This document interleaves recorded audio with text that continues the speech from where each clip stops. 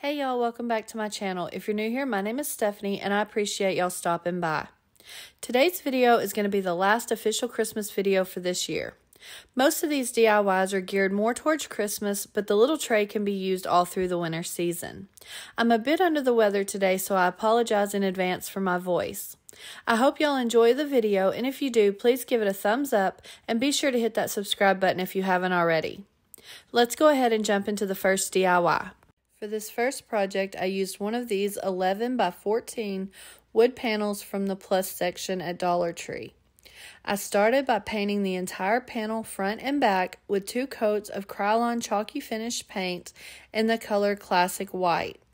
You could use this Let It Snow stencil pack from Hobby Lobby, but I decided to use this Let It Snow design that I found on Cricut Design Space and cut out in matte black vinyl. Once the paint on the panel was completely dry, I applied the vinyl to the center of the panel on the side with the raised edges to create the bottom of the tray. Next, I used two of these black metal handles and some decorative black screws that I got on sale at Hobby Lobby. I placed one of the handles on each side of the tray and made sure that they were even, then took a pencil and marked where each of the screws went so that I could make sure I kept them even when attaching them to the sides of the tray. Then I took two of the screws and started one in each of the holes on one side of the tray. I screwed them in just enough to hold them in place. Once I had both screws started and the handle straight, I went ahead and screwed both screws snugly into place. You could use a small drill bit to pre-drill the holes for the screws to make it easier, but this panel is made out of a soft enough wood that I didn't have a bit of trouble with the screws. I then repeated these steps to attach the other handle to the other side of the tray, and this quick and easy tray is finished. I love how this tray turned out. It's very neutral, so it will fit easily in with the rest of my Christmas and winter decor. Moving right along to DIY number two. For this project, I used this 15.3 inch wooden round tray from a pack with three different sizes that I picked up on sale at Hobby Lobby. I used Krylon Chalky Finish Antiquing Wax in the color Dark Vintage to stain just the bottom of the tray. Next, I used Krylon Chalky Finish paint in the color Classic White and gave the sides and back of the tray two good coats. Then I took this wooden Merry Christmas decor piece that I picked up on sale at Hobby Lobby and removed the twine hanger. I used Waverly chalk paint in the color Crimson to paint just the front of the sign. Once all the paint was dry, I put some wood glue on the back of the Merry Christmas sign and placed it in the center of the wooden tray. I do want to mention I did go back with a wet paper towel and clean up around the sign where any wood glue squished out from under it. When I was happy with the placement of the sign, I set a few heavy bottles of paint on top to help hold it in place and set it aside to dry for a few hours. While I waited on the glue to set up, I painted 24 large wooden beads from Amazon with two coats of Krylon chalky finish paint in the color Classic White. After I had all the beads painted and they were dry, I placed a large upholstery needle on the end of some twine and strung all the beads to create a hanger for the sign. Once I had all the beads on the twine, I tied a double knot in each end to secure the beads onto the twine and cut off the excess twine. When the glue on the sign was dry, I flipped the tray over and used hot glue to attach the string of beads to the top back side of the tray. I also went back after the glue set up and applied a generous layer of glue over the top of the twine on the back side of the sign for added security. I took two of these berry and eucalyptus picks from Walmart and cut them apart to decorate the bottom of the sign. I started by laying down the two pieces of eucalyptus facing in opposite directions on the bottom of the sign and used hot glue to hold them in place. Next, I took the greenery from the pick and placed it on top of the eucalyptus and secured it in place with hot glue. Then I took the red berries and placed them on top of the greenery and hot glued them in place. To finish off this project, I took a flocked pine cone that I had in my stash and hot glued it to the very center of the florals, and this one is finished. I think this turned out super cute and festive. I'm hanging it in my bedroom, but it would also make a fantastic door hanger to welcome guests to your home this Christmas. On to DIY number three. For this project, I started with two packs of these 4x5 canvas 2 packs that I got on sale at Hobby Lobby. I started by removing the rubber seal on the back side of all four canvases. I used a weeding tool to help fish out the edge of the seal and then used some pliers to pull it the rest of the way out. Next, I used a sharp utility knife and scored along the outside edges of the canvas on the back side of the frame so that I could easily remove the canvas fabric from the frame. Once I had the canvas removed, I used a pair of pliers to remove any leftover canvas on the back side of the frame.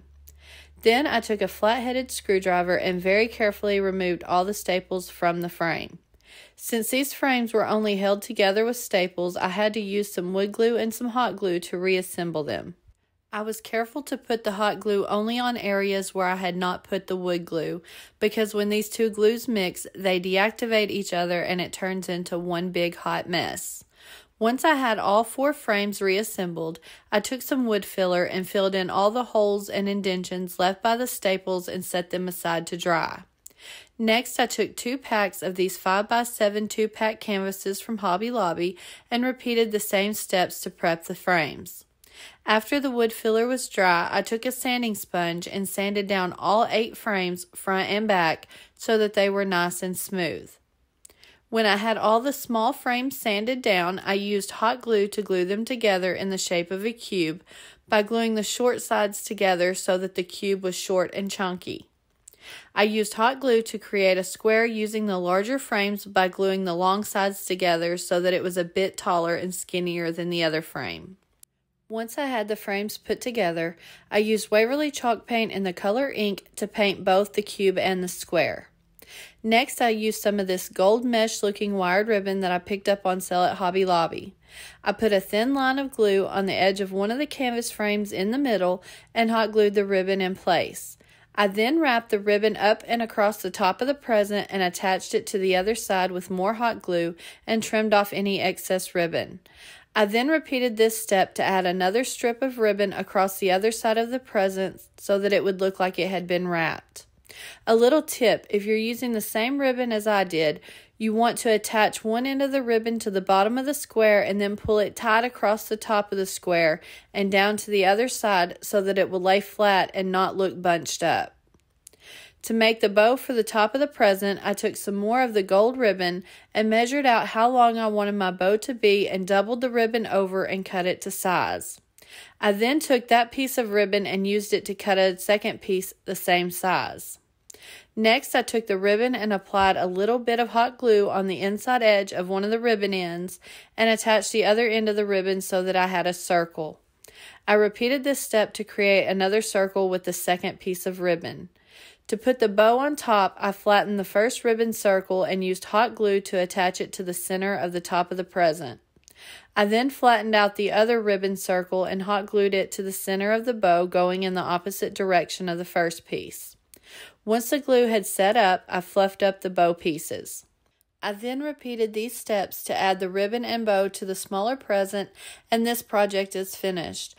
I really do love how these two turned out. I even decided to add a little LED flameless candle inside each of them for a little bit of an added glow. Moving on to DIY number four. For this project, I used one of these fill your own glass snow globes from the Target Dollar Spot. I started by taking the snow globe apart and painting the base with two coats of Rust-Oleum High Gloss spray paint in the color black. Once the base was dry, I used a string of these LED lights from Dollar Tree and some faux snow that I had in my stash. I put a thin layer of the snow down in the bottom of the snow globe and then added a few of the lights. I then added another layer of the snow, followed by more lights, until I had the bottom of the snow globe filled with the snow and the lights. Next, I took this Father Christmas ornament from Walmart and cut off the jute hanger. I placed the figure right in the center of the bottom of the snow globe and replaced the top. I made sure the string to the light box was on the back side of the figure to the back of the snow globe so that it could easily be hidden, and this one is finished. I am really happy with how this quick and easy snow globe turned out. I really wish the camera showed the beauty of it and the nice warm glow from the lights. Quickly moving on to DIY number five. For this next project, I used one of these 16 by 20 canvases from this two pack that I picked up in the plus section at Dollar Tree. I started by flipping over the canvas and using a sharp utility knife to cut along the outside edge of the canvas frame so that I could remove the canvas from the frame to create a reverse canvas. Once I had the canvas removed from the frame, I used a pair of pliers to remove all the leftover pieces of the canvas. Next, I took a flathead screwdriver and some pliers and very carefully removed all the staples from the back and the front side of the frame. After I had all the staples removed, I took some Krylon chalky finish paint in the color Classic White and painted the front and sides of the frame with two good coats. I flattened out the canvas fabric and took a 10 and a half inch plastic plate from Walmart and placed it in the center of the canvas using the creases from where the canvas was attached to the frame as a guide. I used apple barrel paint in the color Cloudless and a foam pouncer brush to paint around the outside of the plate while holding the plate in place so that I would have a perfect white circle. Next, I used apple barrel paint in the color bright blue and the same sponge brush with the light blue paint still on it and painted the rest of the front of the canvas again holding the plate in place. I went back in with some more of the cloudless blue paint and went back around the plate, followed up with some more of the bright blue to blend the two colors together, all while the paint was still wet. I decided I wanted the background blue to be a bit darker, so I went ahead and mixed a little bit of the apple barrel paint in the color black with some apple barrel bright blue paint, and using the same sponge brush I had been using, painted the entire front of the canvas except for right around the plate since I wanted the lighter blues to show. Once I had the dark blue all over the canvas, I went back in with some more of the bright blue and painted it all over the dark blue to blend it together. Next, I used some white acrylic paint and a stencil brush from Dollar Tree to create the stars in the night sky. I dipped the stencil brush into the white paint and used my finger to flick the paint all over the front of the canvas with the plate still in place to protect the moon. Once I had the stars in the sky, I carefully removed the plate to reveal the moon. To clean up around the moon and to make it look like it was shining, I took a small paintbrush and went around the inside edges with the cloudless light blue color and then around the outside of that with a bright blue. Here is how it looked once all the paint was dry on the canvas. After all the paint was completely dry, I placed the frame on top of the canvas using the original creases as a guide and used hot glue to tack it in place on each of the four corners. I then flipped the whole thing over and used a staple gun to secure the canvas all along the back side of the frame. Once I had the frame in place, I took a sharp utility knife and carefully cut off the excess canvas fabric from around the outside of the frame. I created this Santa and his reindeer SVG and cut it out in some matte black vinyl and applied it to the canvas angled at a way so that it looked like he was flying across the moon. I will try to leave a link to this SVG file in the description box below, but I know there are similar ones on the Design Space ready to use. Now, if you don't have a vinyl machine, you could print this out on regular printer paper and Mod Podge it onto the canvas, or you could freehand it. I'm not an artist, so vinyl it was for me. For the hanger, I used one of these sawtooth hangers from a picture hanging kit that I picked up at Dollar Tree. I centered the hanger on the back of the frame and hammered the little nails into place, trying to keep it as straight as possible. At this point, I decided it needed a little something extra, so I texted a picture to my sister, who happens to be a very good artist, and asked her opinion, and she said to stipple the moon a little bit. So I took some folk art medium gray and some white acrylic paint along with a Dollar Tree stencil brush and stippled the moon. I'll admit I had no idea what I was doing here, but I just worked back and forth adding in some gray and some white and mixing the two together until I was happy with the way it looked. If I happened to get a little bit of paint on the vinyl, it was easy to wipe away with the damp baby wipe. Here is how it turned out when I was finished with it. I absolutely love this one. It's hands down my favorite out of all of today's projects. And if I'm honest, probably out of all the Christmas DIYs I've done in the last two years here on my channel. Last but not least, DIY number six. For this final project, I used 8 of these 8x10 canvases from this 12 pack that I picked up at Hobby Lobby. I actually prefer the quality and look of the Hobby Lobby canvas frames over Dollar Tree, but you could use Dollar Tree frames as well. I started by removing the canvas fabric and staples from all 8 frames just like I did in the previous projects on this video. Next, I took some sandpaper and sanded off the number stamp on the inside of the frames. Since I was staining these, I did not want the ink to show through the stain. Once I had all the frames prepped, I took four frames that fit together nicely to form the shape of a window and used wood glue and a small dab of hot glue to attach all four frames together and set them aside to dry. I did go ahead and clean up any of the wood glue that squished out around the edges of the frames with a damp baby wipe. After the wood glue had a couple of hours to set up, I did flip the frame over and reinforce the back seams with a generous amount of hot glue for a bit of added security. When all the glue had time to dry, I took some stainable wood filler and filled in the gaps between the four frames on the front so that it looked like one solid piece. Once the wood filler was completely dry, I took some sandpaper and sanded the areas where I applied the wood filler so that it was nice and smooth. I then stained the front, back, and sides of the window frame as well as the front, back, and sides of the other four frames with Rust-Oleum wood stain in the color American Walnut. Next, I used four 8x10 picture frames from Dollar Tree and removed the glass since I only wanted to use the glass for this project. I used this ice crystal spray that I picked up at Walmart and sprayed just the front sides of the glass with one light coat. I did clean the glass with some rubbing alcohol and let them completely dry before spraying them. It takes about 30 minutes for these ice crystals to form, but I'm impatient, so I went ahead and used my heat tool and they were dry in no time, but just to be safe, I let them set overnight. I flipped the window frame over and used some E6000 to attach the glass face side down with the side that I sprayed the crystals on facing down to the back of the frame.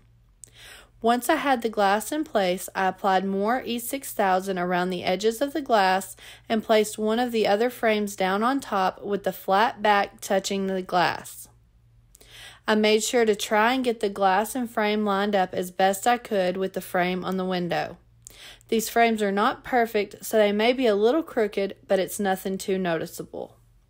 I then repeated these steps to add the glass and frames to the other three windows and then set some heavy objects on top and set them aside to dry for a couple of hours. While the window was drying, I took one of these folding wooden Christmas scenes that I picked up on sale at Hobby Lobby and removed all four hinges so that I would have three individual pieces. Next, I took some Krylon chalky finish paint in the color Classic White and painted all the trees front and back on all three pieces and the rooftop of the little cabin.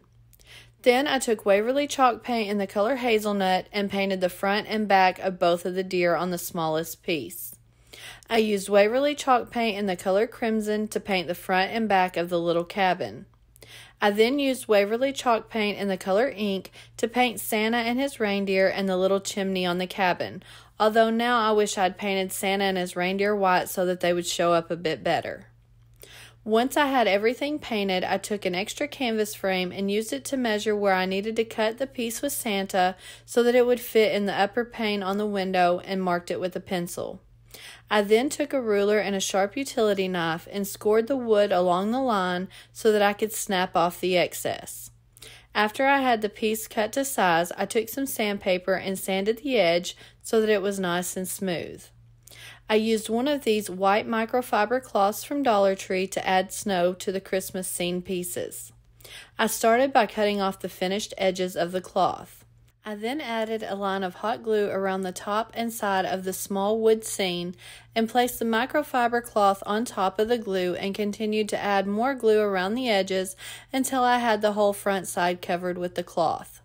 These cloths have two sides. One is a little more fluffy than the other, and that fluffy side is the side that I wanted to be showing as the snow.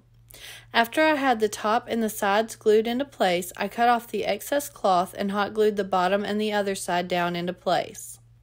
I then flipped over the piece and cut off all the excess cloth so that it would have a nice clean finished look. I repeated these steps to cover the bottom half of the other two wood pieces. Once the glue on the window frame was completely dry, I flipped it over so that I was working on the side where I had not sprayed the crystals. You can tell the difference by the feel of the glass, which side is the front and which is the back. I laid out the three wood pieces face down on the back side of the window on the three frames I wanted them to be visible on and used hot glue to secure them in place. You could use E6000 or wood glue for this step if you wanted a more secure hold, but the hot glue seems to be holding up really well. Once all the wood pieces were glued into place, this window frame is finished. I wanted to keep it simple, but if you wanted, you could add fairy lights or maybe even some greenery or florals on the top. I also did not add a hanger because this will be sitting on my entryway table, but you could add one to the back if you wanted to hang it up. I am absolutely thrilled with how this one turned out. I really do love it. It did take some time waiting on the glues to dry, but it was so worth it. Here is one final look at all six of today's projects. I absolutely love how these turned out. Which one of these projects is your favorite? Let me know in the comments below. Mine has to be the Santa canvas. Also, let me know in the comments what you want to see next. Like, do you want me to keep doing winter, or would you like me to go to Valentine's, or would you like me to do just regular everyday decor? I want to know. Let me know. I want to thank each and every one of y'all for stopping by today. And if you enjoyed this video, please give it a thumbs up. It really does help me out here on YouTube. And if you haven't hit that subscribe button yet, what are you waiting for? Click that button and stick around for a little while. I have tons of fun projects on the way. Also, I just want to apologize again about my voice. Like I said, I'm a little under the weather, but hopefully I'll get to feeling better soon. And I'll have another video for y'all on the 13th. So be sure to come back and check it out. I'll see y'all next time.